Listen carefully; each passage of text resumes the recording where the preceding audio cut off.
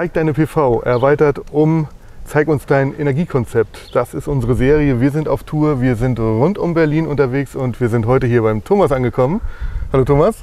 Hallo Martin, hallo Anne, schön, dass ihr da seid. Ja, schön, ja. dass wir beide sein können. Ich freue mich, dass ihr da seid. Ja, ja. das finde ich gut. Und wo sind wir heute genau? Wir sind nördlich von Berlin.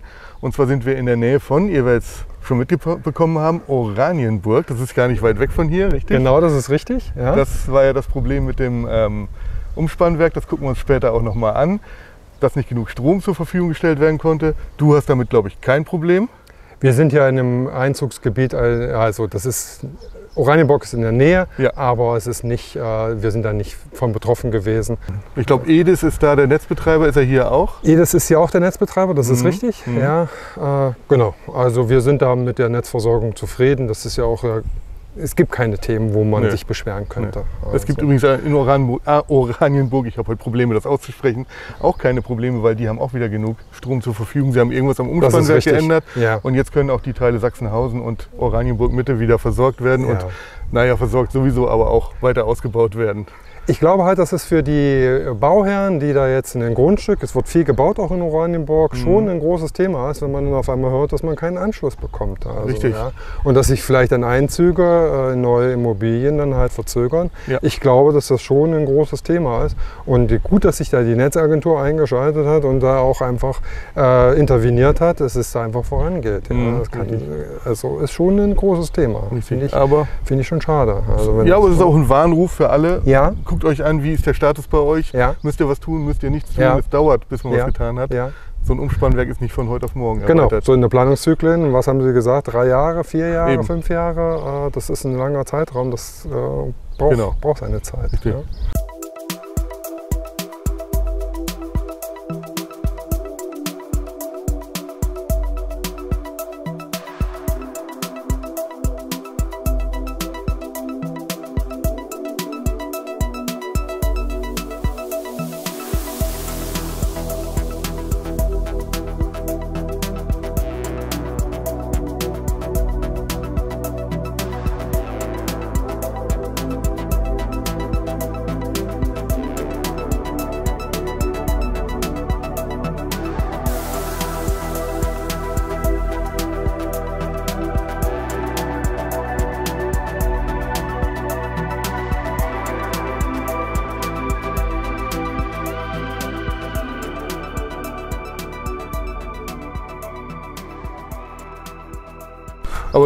Hast hier für dich was getan und zwar ja. dezentral vor dem Umspannwerk Ganz quasi genau. aus deiner Sicht.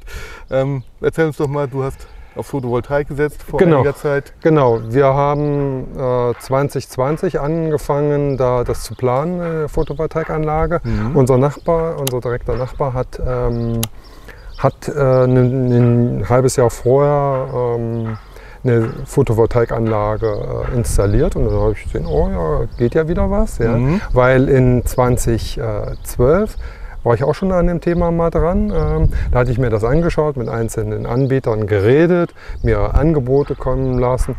Da hat man aber über 5 Kilowatt geredet, 4 Kilowatt geredet, für viel Geld, sehr viel ja, Geld. Ja. ja. Und äh, da war natürlich die Einspeisevergütung besser, mhm. aber ähm, nicht unbedingt ähm, ja, die, die, Seriosität der Anbieter war auch so fraglich. Es war eher sehr vertriebsorientiert. Mhm. Ja. Ähm, und dann habe ich das Thema erstmal liegen gelassen und habe dann eben 2020 wieder angefangen, mhm. äh, darüber nachzudenken. Und ja, wir sind dann auch wirklich schnell da zum Zuge gekommen und dann im Februar 2021 konnten wir die Solaranlage installieren lassen, auch wirklich bei Schnee. Ähm, oh. Ja. Die Handwerker sind gekommen, haben erstmal das Dach gefegt. Es gab Neuschnee die Nacht. Ja. Das ist ein steiles Dach, was ja, du hast, ne? Ja, ja, mutig, ohne Gerüst. Oha. Einfach äh, mit zwei Leute. Besen äh, sind die dann rübergegangen ja, über das Dach und haben äh, die Solaranlage innerhalb von einem Tag installiert. Ähm, vier, Techniker, vier Techniker auf dem Dach, ja. ähm, zwei Techniker im äh, Hauswirtschaftsraum ähm, und äh, innerhalb von einem Tag fertig. Also komplett. Ja, richtig gut. Ja. Wie viel hast du drauf? Wie viel kW? Das sind jetzt 9,94. Ähm, Knapp das, unter 10. genau, das war 2020 noch die Grenze. Der Klassiker, äh, ja. Genau, Klassiker. Mhm. Ähm, Ähm, das ist dann Ende des Jahres gefallen, die Grenze. Äh, ich habe aber dann nicht nochmal äh, da was geändert äh, mhm. an der Installation. Mhm. Ähm, es ist auch leider nicht so äh, umgesetzt worden, wie wir uns das gewünscht hatten. Die ja. jetzt die zwei Module auf der rechten Seite und die sollten an sich hier in so einem großen L gelegt werden. Das ist leider nicht umgesetzt worden, weil es wäre es zu knapp geworden. Der Vertriebler, der das damals ausgemessen hat oder mhm. geschätzt hat, naja, Theorie und Praxis, nicht, ne? hat nicht so hingehauen. ja, ja. Aber ich bin so zufrieden. Ähm, äh, das sind jetzt äh, 28 Module mit ja. äh, 355 äh, Kilowatt von Q-Cells. Mhm. Also mhm. mit, ähm, mit Solar Edge äh, Optimierern drunter. Mhm. Ob man das braucht, äh, ist so eine Frage. Mhm. Äh, bei einer Südseite, aber der Vertriebler meinte damals, ja, machen, äh, wenn auch Wolken vorbeiziehen, äh, würde sich das lohnen. Ich weiß es okay. nicht. Also, Die Theorie höre ich zum ersten Mal. Ja. Aber ja. du hast ja einfach den Vorteil, du kannst jedes ja. Modul einzeln dir ansehen. Das sehe ich auch so. Das ist Vorteil. ja immer das Schöne an, an Solar Edge. Ne? Und falls irgendwie ein Baum hier nochmal höher wächst, mhm. dann ich denke, die Chancen Seite. sind gering. Ja, das ist richtig. Du, hast, haben, du hast ne? wunderbare, unverschattete ja. Südausrichtungen. Normalerweise hätte es ein System ohne Optimierer getan, aber gut. Ja. Ja, nee, wir, ich habe damals gesagt, ich will an sich ein, ein, ein kosteneffizientes System haben. Das mhm. war mein Ziel. Mhm. Und ähm, äh, das hat auch ganz gut gepasst da so äh, von den Rahmenbedingungen und äh, ja, wir hatten mehrere Anbieter da, da waren sehr große Preisunterschiede, durchaus 50 Prozent. Ja, 50 Prozent? 50 Prozent. Oha. Ja. Und da war es jetzt der günstigste oder war es der, wo du sagst, ähm, da war auch irgendwie die Chemie stimmte, das Vertrauen war da? Der Nachbar hat auch mit dem Anbieter ah, gebaut, ah, okay. also der hatte schon gute Erfahrungen, da konnte ich darauf zurückgreifen. Mhm. Ähm, äh, die, die, Beratung war auch gut, mhm. also war umfang, äh, umfassend. Damals war auch noch das Steuerthema, äh, wie man, muss man so eine Solaranlage anmelden dann beim Finanzamt. Da konnten die gut äh, Antworten geben. Auch eben äh, während des Anmeldeprozesses mhm. waren viele, viele Möglichkeiten oder war gute Unterstützung von. Von also du hast auch das Finanzamt kontaktiert? Ähm, das, die Anlage ist ersten, ja, die Anlage ist beim Finanzamt angemeldet, ja, also ja. als äh, ich bin Kleinunternehmer ja. äh, mit. Nee, das mit der Regelbesteuerung. mit der Regelbesteuerung. Dass du also, quasi die Mehrwertsteuer des Anlagenkaufs dir zurückholen kannst. Ganz genau. Und dann Regelbesteuerung. Aber Umsatzsteuer für Richtig. deinen Eigenverbrauch zahlst. Richtig, ja. ja. Das wäre jetzt meine nächste Frage gewesen. Äh, hast du sie rausgenommen? Du hast es gemacht, so wie wir es auch ja. Äh, ja. quasi angeleitet haben. Ich habe auch deinen dein, äh, dein Musterbrief genutzt ja. dafür. Das hat auch gut funktioniert. Das Finanzamt Perfekt. hat sich dann äh, äh gemeldet, hat drei Monate gedauert. Äh, die hatten das nochmal zurückgestellt, die Anfrage da. Mhm. Ähm, das ist ja dann im März oder sowas, ging des letzten Jahres, glaube ich. Das, mhm. war das, lief das an. Und dann im, im Sommer hatte ich dann die Antwort. Und ja, für 23 habe ich dann halt nur die äh, Mehrwertsteuer, die ich halt auf meinen, also auf meinen eingespeisten Strom auf meinen eingespeisten Strom. Genau. Äh, das, das, ist ja ein Durchlaufposten. Genau, du kriegst, Durchlaufposten. Du kriegst vom Netzbetreiber die genau. Umsatzsteuer und reichst sie ans Finanzamt weiter. Ganz genau. genau. Du musst äh, dem Netzbetreiber sagen, ich will mit oder um, ohne Umsatzsteuer genau. und dann wird das Ganze auch so abgehandelt. Ja. Aber damals mhm. war es noch sehr interessant, die Mehr Mehrwertsteuer eben äh, zurückzubekommen, weil es ja, Definitiv. ja es äh, war, ein, war ein richtiger Schritt. Also, ja. ja. zwei wichtige Dinge, die du genannt hast, die ich nochmal ansprechen möchte. Erstens, wo kriege ich einen guten Solateur, Solateur her? Fragt einfach mal in der Nachbarschaft, was die für ja. Erfahrungen gemacht haben, so wie Thomas es gemacht hat. Ja, und das zweite ist ähm, aus Musterschreiben, wenn ihr es noch nicht gemacht habt, Photovoltaikanlage ins Privatvermögen übernehmen, dann haben wir das Musterschreiben nochmal unten in der Videobeschreibung. Dann macht das jetzt noch dann spart ihr euch die Umsatzsteuer auf Eigenverbrauch zukünftig, so wie ja. du es ja auch gemacht hast. Ja, das sind mehrere hundert Euro pro Jahr und das, äh, das muss man nicht weggeben. Mhm. Also, ja. ja. Und äh, das ist auch kein großer Aufwand. Also Nö. die Finanzämter sind, kennen diese Verfahren und das sollte sich jetzt auch mittlerweile etabliert haben. Eben. Am Anfang war es noch ein bisschen kompliziert. Ja. Ne? Die einen wollten dies, die anderen wollten jenes. Ja. Inzwischen hat das äh, Bundesministerium die Finanzen das, glaube ich, etwas harmonisiert. Genau. Und das Ganze hat sich rumgesprochen. Ihr hattet ja dann mal eine Statistik gemacht, welche Finanzämter wie reagieren. Ja? Genau. Äh, hier war es auch. Am Anfang hatten die das zurückgestellt, das Thema, hatten gesagt, wir warten erst mal ab. Äh, und dann äh, Monate später kam dann halt mhm. Äh, der positive Bescheid. Mhm. Und das habe ich jetzt auch umgesetzt in dem letzten ähm, äh, ja, in der letzten Erklärung, Umsatzsteuererklärung, ja.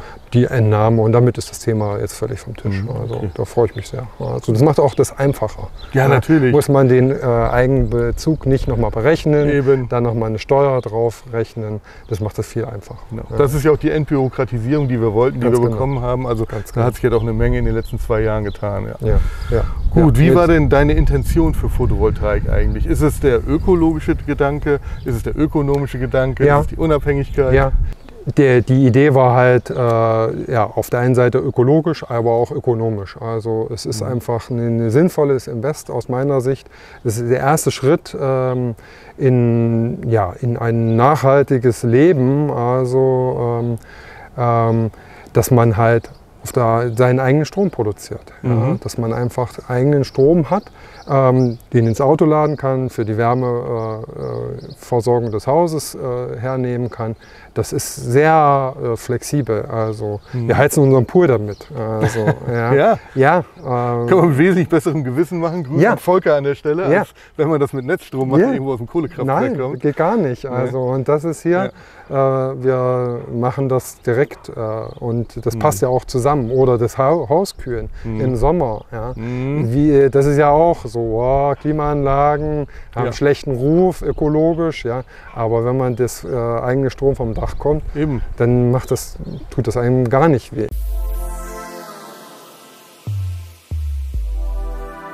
Was bringt denn deine wunderschöne Südausrichtung hier so im Jahr? Im Jahr, man kann mit 10.000 äh, Kilowattstunden rechnen. Mhm. Äh, in guten Jahren, was wir auch schon hatten, äh, 22 sind es sogar 11.000 gewesen. In schlechten Jahren sind es mal 9.800. Mhm. Aber somit um die 10.000 kann man da rechnen. Mhm. Ja, äh, unser Hausverbrauch ist damit gut gedeckt. Ähm, ähm, ja, Bilanziell macht ihr einen Plus. Oder ihr, ihr, produziert mehr, als ihr verbraucht? Oder? Wir produzieren mehr, als wir verbrauchen. Mhm, aber nur also, knapp, oder? Ja, naja.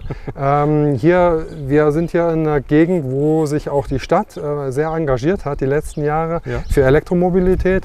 Wir hatten hier ähm, in, äh, im, in der Stadt halt äh, eine Möglichkeit, kostenfrei das Auto zu laden. Ja. Mhm. Ähm, gab halt eine, hier eine Ladesäule, wo man mit seinem normalen Stecker dran gehen konnte. Mhm. Einfach diese Ladesäule einschalten konnte und dann hat man das Auto geladen. Das ist jetzt bis zum Oktober letzten Jahres lief das. Ja. Mhm. Dadurch kann ich noch immer noch gar nicht so sagen, wie viel ah, ein okay. Jahr Autofahren an Strom äh, ja. äh, konsumiert. Und natürlich die Wärmepumpe ist neu. Mhm.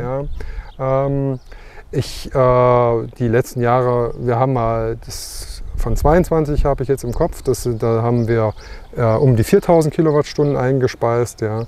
Und ähm, mhm. jetzt im letzten Jahr waren es noch um die 3000. Mhm. Also wir sind im Plus jetzt noch damit. Ja. Aber du hast noch Puffermöglichkeiten, damit du den Plus noch vergrößerst, weil mhm. wir sehen ja, das Dach ist nicht voll. Ja, an der Südseite sind sozusagen noch Kapazitäten. Ja. Ähm, am Wechselrichter haben wir auch noch Kapazitäten. Also der hat eine Leistung von 10, 10 Kilowatt. Mhm. Ja.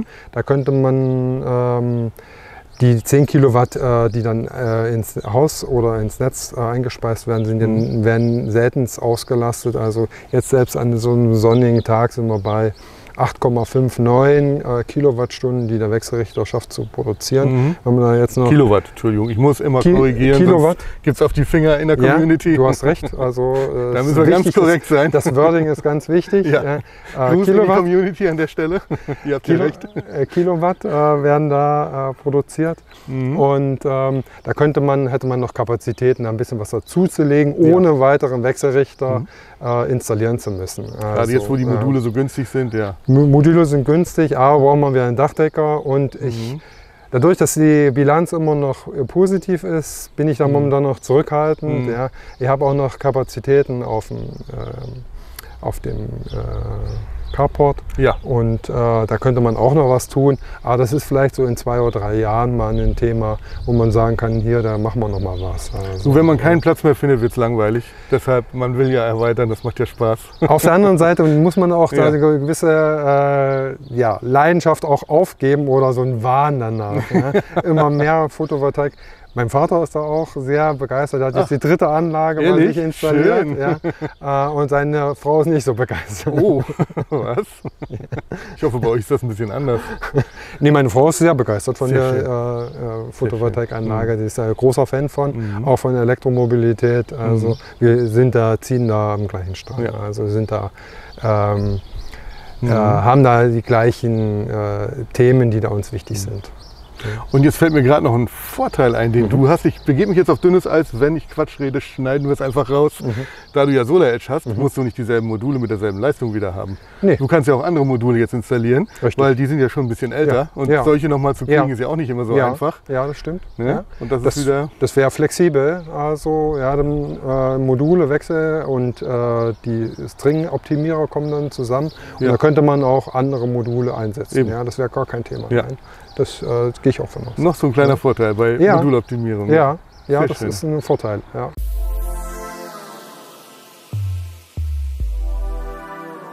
Willkommen in Thomas Technikzentrale. Thomas, was haben wir hier alles verbaut? Jetzt mal Waschmaschine und Trockner ausgenommen. Ja, genau. Wir sehen hier auf der rechten äh, den Solar Edge Wechselrichter mit dem Speicher. Wir sehen ihn gerade, ja. Genau, das ist ein LG-Speicher äh, mit einem Hybrid Solar Edge Wechselrichter. Äh, genau, da ist äh, noch als Option ist noch eine äh, Steuerung für Steckdosen mit dran. Das ist sozusagen so Zigbee. Wo ich halt die Planung oder Planung war, den Pool zu steuern. Das habe ich aber abgelöst mit Home Assistant. Ja. Das gucken wir uns, glaube ich, dann noch später nochmal ja. an. Ähm, genau, das ist ein 13 äh, äh, Kilowattstunden Akku, ähm, der halt eine sehr schmale Bauform hat, was ich sehr mhm. schön finde. Ähm, hat LG nicht immer bei seinen Speichern ja. an der Stelle mal gesagt. Wir haben ja eher das Designmodell. Und bei dir ist es das kompakte. Genau. Ist so ein Resochem Genau, so ein mhm. ResoChem 13 heißt ja das Modell. Das mhm. ist halt mit, mit äh, im Rahmen da der äh, Installation der Solaranlage ist das hier gekommen. Hat mhm. auch 100 Kilo drauf, also, mhm. ja, und passt aber eben wirklich gut hier in die Ecke. Ähm, ich habe wenig Platz, wie ihr seht, äh, ja. im, hier im Hauswirtschaftsraum. Aber es ist halt, wir haben keinen Keller ja, mhm. und dadurch ist es auch äh, wirklich äh, perfekt äh, für mich mhm. und auch von den Größen halt. Ja. Aber da muss man wirklich mal sagen, ähm, da kommen andere Hersteller nicht unbedingt mit, Huawei oder RCT. Die haben doch, auch wenn sie sehr kompakt sind, auf 13 Kilowattstunden, was du hier zusammen mhm. komprimiert hast, das ist echt, mhm. also LG kann wirklich auch klein. Ja. Und ja. Ähm, vom Umtauschprogramm aber nicht betroffen. Muss man bei LG ja leider zurzeit immer fragen. Ja, das ist ein Punkt, den ich geprüft habe. Äh, ich habe die Seriennummer geprüft vom, vom Speicher und mhm. ist nicht im, in dem Rückruf, äh, vom Rückruf mhm. betroffen. Mhm. Und äh, ja, äh, funktioniert gut. Ja. Äh, ähm, ja. Mhm. Gut. Ich überlege gerade, ob er sich hier gerade zu Wort meldet.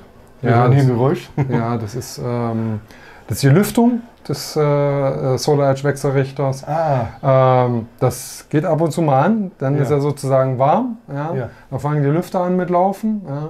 und jetzt sind sie wieder aus. Oh, das war wirklich kurz, ja. Ja. Das ist wahrscheinlich immer so kurz vor der Grenze. Ähm. Wir haben heute gute Produktion, ja, die Sonne scheint draußen, mhm. hier ist warm im Haus ähm, und dadurch ist es, äh, ja, gehen dann die Lüfter halt mal an. Ja.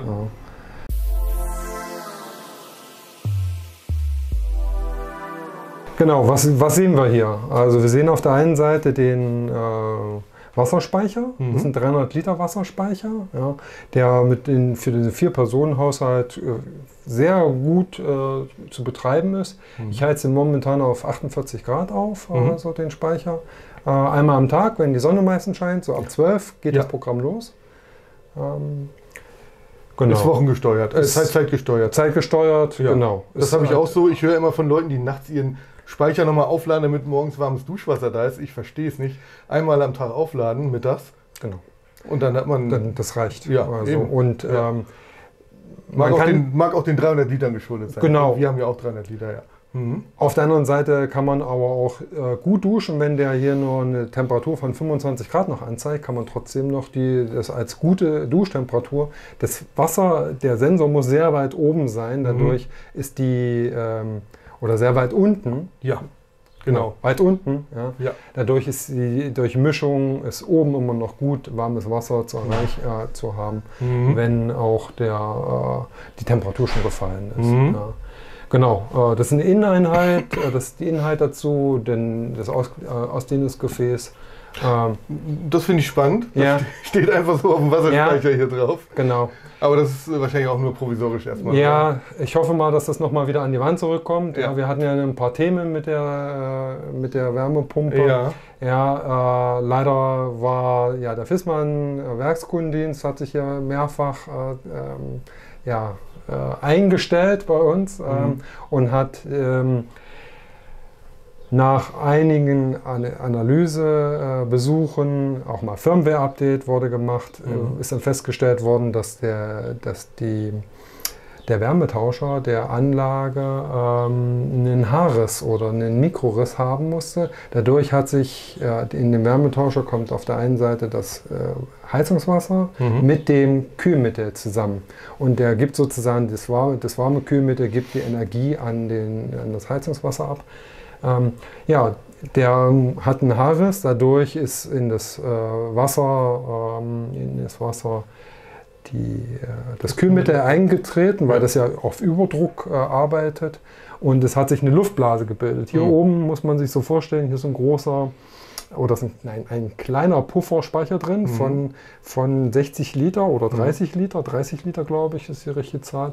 Und genau, durch die Undichtigkeit äh, ist dann halt der, äh, hat sich dann eine Luftblase in dem Pufferspeicher gebildet und im Winter, wo die ähm, Anlage halt richtig arbeiten musste, mhm. die Außeneinheit äh, vereist ist und dadurch ähm, diese Luftblase in dem Pufferspeicher war, ähm, konnte die, nicht mehr, die Anlage nicht mehr richtig abtauen. Die Anlage war ständig auf, äh, im Notbetrieb, also mhm. mehrfach im Notbetrieb.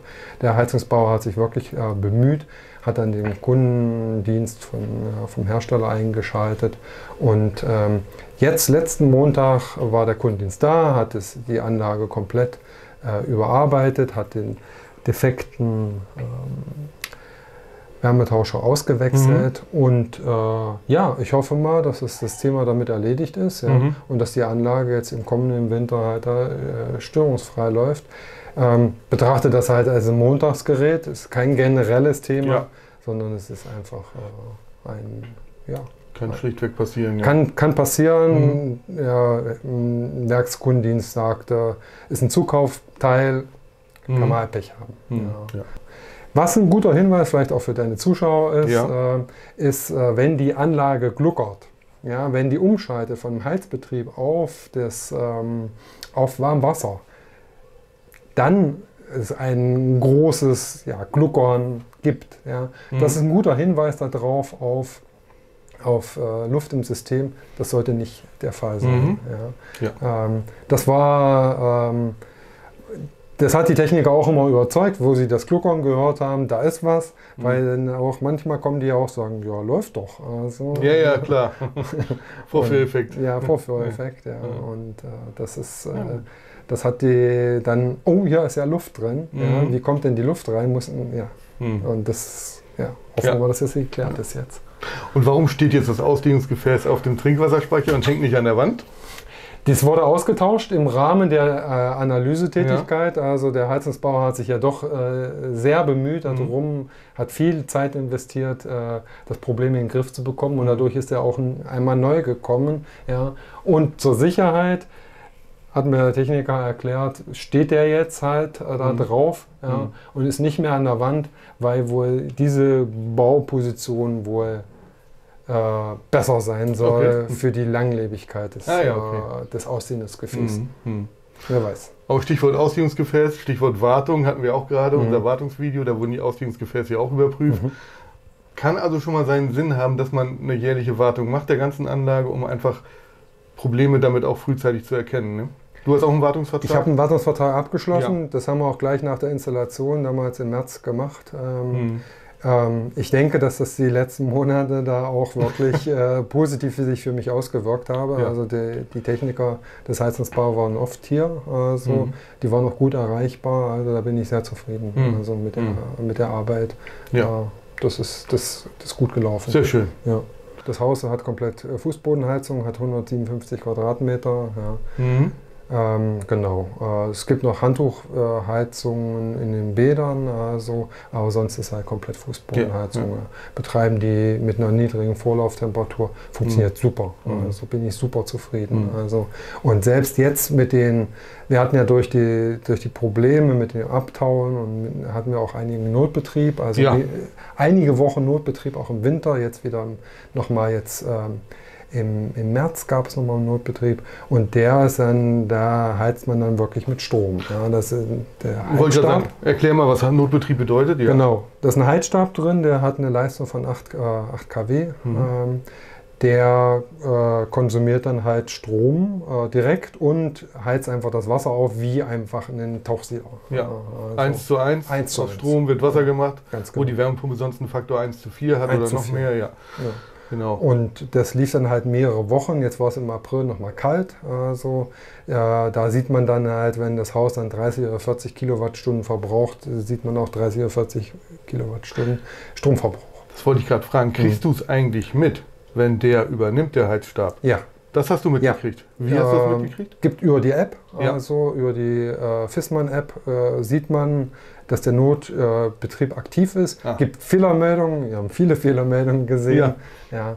ja. Ähm, äh, Gibt es Push-Nachrichten, das mhm. ist, mhm. äh, man, die Heizung ist ein ganz neues Modell, die ist halt ähm, 2023 neu auf den Markt gekommen, mhm. ähm, hat dementsprechend auch ein paar äh, Firmware-Updates bekommen und ähm, mhm. Ist von der Steuerung äh, wirklich gut. Also da äh, hat man viel Transparenz, äh, wie die Anlage läuft. Mhm. Es gibt keine Überraschungen. Man bekommt jeden Tag die Meldung, dass der Notbetrieb aktiv ist. Okay. Ja, also solche ähm, Bildzeitungsartikel, hier die Heizung hat so viel Strom verbraucht, weil die, das kann gar nicht passieren, weil man mhm. bekommt es mit. Also Zumindest bei modernen Wärmepumpen. Bei modernen Wärmepumpen bekommt ja. man das mit. Okay. Gut, und dann kannst du halt reagieren und dann sofort. Kann man reagieren. Ja, ja und äh, den Heizungsbauer informieren ja. und den äh, einspannen. Aber das Haus wird erstmal nicht kalt. Du hast halt Nein. erhöhten Energiebedarf, aber Richtig. Das ist die Bivalenz einer Wärmepumpe. Durch den Heizstab ist sie immer in der Lage, auch Richtig. im Störungsbetrieb noch ja. den Heizbetrieb aufrechtzuerhalten. Also gefroren haben wir nie, also kalt duschen mussten wir auch nie. Ja. Also äh, auch wenn es halt die Themen gegeben hat. Das ist dann natürlich schade, wenn man sieht, ja, die äh, im April war schon äh, Produktion von der Solaranlage mhm. ganz gut, aber es gab halt äh, ja, kein, ja, die Heizung hat alles weggefressen. Ja, klar. ja. Und das ist dann auch ein bisschen schade, wenn man dann so denkt, oh, jetzt, äh, man hat halt den positiven Effekt der Wärmepumpe. Nächstes Jahr wird es ja besser laufen. Nächstes Jahr wird es besser laufen. Ich vermute, du kannst uns deshalb auch noch keinen Jahresdurchschnittsverbrauchswert deiner Wärmepumpe nennen. Weil die ist ja doch, der ist ja ziemlich verfälscht. Ja, oder? Na, man kann das halt gut auseinander addieren. Also man sieht, wie viel die elektrische Zusatzheizung halt äh, verbraucht hat. Mhm. Da reden wir über 2000 Kilowattstunden, die sie jetzt ja über den Winter verbraucht hat, die elektrische Zusatzheizung. Okay. Ähm, insgesamt hatte ich äh, einen Verbrauch von 4800 Kilowattstunden, hat die komplette Heizungsanlage. Mit Heizstab? Mit Heizstab. Oh, das ist dasselbe, was wir haben. Gut, du ja. hast ein etwas moderneres Haus, was auch wahrscheinlich einfacher zu beheizen ist als unseres. Mhm. Aber genau. das geht ja noch. Wenn man da von einem Faktor von 1 zu 4 ausgeht, von den 2000 Kilowattstunden, landen wir dann bei so 3700 ja. fürs Haus. Ja. Äh, eine ganze Saison mit ähm, Warmwasser mhm. und ein bisschen Kühlung noch im Sommer. Mhm. Äh, wenn es die Außentemperatur wirklich dann über 25 Grad geht, ja. dann würde die Heizung ja auch anfangen, den Boden zu kühlen. Mhm. Äh, das ist ein sehr positiver Effekt. Man muss sich dann die Socken anziehen, also merkt man dann. Ja. Das habe ich gehört, das ist ein bisschen unangenehm, weil der Fußboden einfach kalt ist. Der richtig, Fußboden ja. ist also ja, er ist kalt. Also mhm. ja, dann, da läuft dann Wasser durch von 18 Grad oder mhm. vielleicht auch 16 Grad. Das ist halt mit, der, mit dem Taupunkt so ein Thema, mhm. aber sehr komfortabel. Wir haben das geschafft jetzt zum ersten Mal in im letzten Sommer halt dann das Haus dann auf 24 Grad, auch wenn draußen über 30 Grad okay. sind, das zu halten. Und mhm. das funktioniert ja meistens auch gut mit der Produktion der Solaranlage. Ja. Und dann kann man auch sagen, hier, das ist mir auch egal, wenn da mhm. das Haus da gekühlt wird. Ja. kann man das okay. gut nutzen.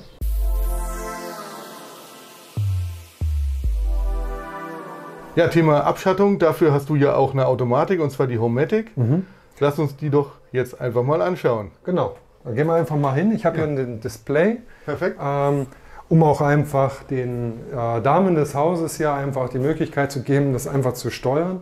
Genau, jetzt stehen wir hier vor unserer Haussteuerung, die äh, die Möglichkeit bietet auf der einen Seite, also das ist Home Assistant, ähm, mhm. das ist ein kleines äh, Tablet hier dazu, was halt ähm, die Daten von der Solaranlage, von der Wärmepumpe, ähm, von dem Home Matic IP-System einsammelt mhm. und hier visualisiert oder auch ähm, äh, Entscheidungen treffen kann. Ja, zum mhm. Beispiel äh, Überschuss ähm, ist jetzt da. Wir sehen, okay, hier die Prognose, die Solarprognose äh, sieht heute sehr gut aus. Wir haben äh, heute in der Prognose mehr als 20 äh, Kilowattstunden ähm, Solarproduktion, dann könnte man sagen, hier in der Übergangszeit, ich äh, heize mal den Estrich auf ja, mhm. und verändere zum Beispiel von der äh, Wärmepumpe die Kurve ja, und setze die dann am Abend wieder zurück oder ich äh, überhöhe die Speichertemperatur. Ja. Mhm.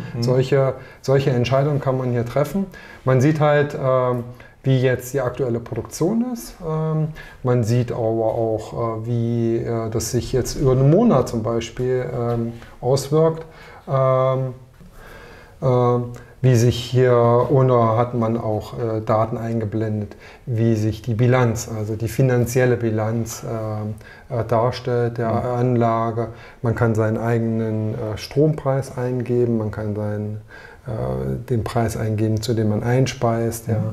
Es wird auch über Jahr, äh, Jahre äh, gezeigt. Ich habe das jetzt seit Dezember letzten Jahres mhm. und ähm, kann da jetzt, ich habe damit angefangen, über äh, die Heizungssteuerung ähm, die einzelnen äh, Räume äh, zu steuern, um das einfach auch meinen Frauen hier mhm. freizugeben und einfach das einfach auch ähm, die Akzeptanz da zu erhöhen. Mhm. Ja, mhm. ähm, sieht nochmal, wie die Fenster sind, äh, dass die Fenster geschlossen sind, wenn man das Haus verlässt. Ja. ja sind äh, Fenstersensoren dran. Ja. Okay.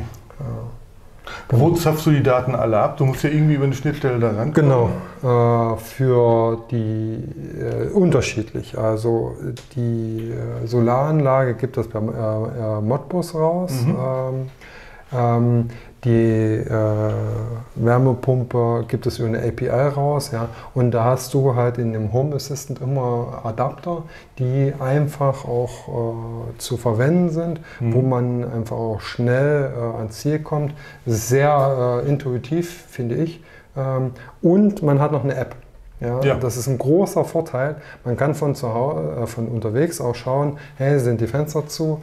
Ähm, oder äh, muss ich hier, äh, wie ist der gerade der Ertrag meiner, mhm. äh, meiner Wärmepumpe oder wie ist der Ertrag meiner Solaranlage?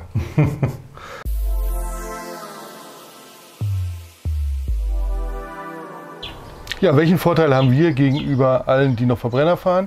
Wir können bei unseren Vorortterminen unser Auto aufladen. Und das tun wir hier auch gerade genau. an deiner My Energy Zappi. Mhm. Und wir haben wunderschönes Wetter und das heißt, es kommt auch ordentlich was vom Dach.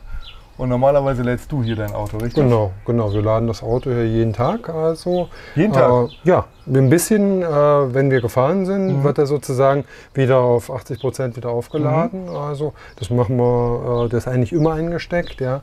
Und wenn es Überschuss gibt äh, und das Auto eben keine 80 Prozent hat, äh, landet das im Auto. Ja, also ja, ja ähm, ich bin damit zufrieden. Also äh, wir fahren relativ viel, fahren mhm. durchaus 20.000 Kilometer. Mhm, ja, okay. Haben so ein Verhältnis von 70 Prozent laden wir hier zu Hause, ähm, ja, auch unterwegs. Ähm, ja, äh, und äh, das ich bin damit sehr zufrieden. Mhm. Also jetzt mit dem letzten Firmware-Update ist auch ja, das, äh, die Phasenumschaltung gekommen, dass man einphasig und dreiphasig ja, super, ja. äh, machen kann. Also mhm. das lohnt sich nochmal da für die Leute, die auch ja. eine Zappi haben, äh, da ähm, das zu nutzen. Mhm. Und das mit dem Überschussladen funktioniert einwandfrei. Also bin ich sehr zufrieden. Mhm. Also ist, man sieht schön, wie der den die Ladekurve dem Sonnenverlauf folgt sich. Ja.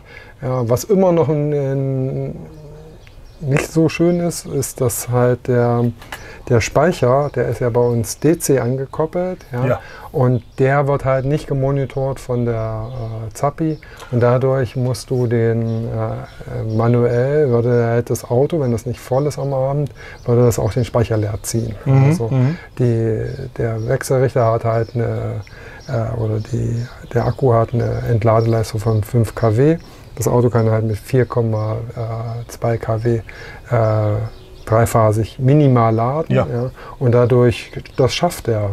Mhm. Äh, schafft die, die Solaranlage und dadurch muss man ein bisschen aufpassen, dass man nicht den Speicher okay. leer gezogen bekommt, ja. den Hausspeicher. Ja. ja. klar. Aber sonst bin ich damit sehr zufrieden mhm.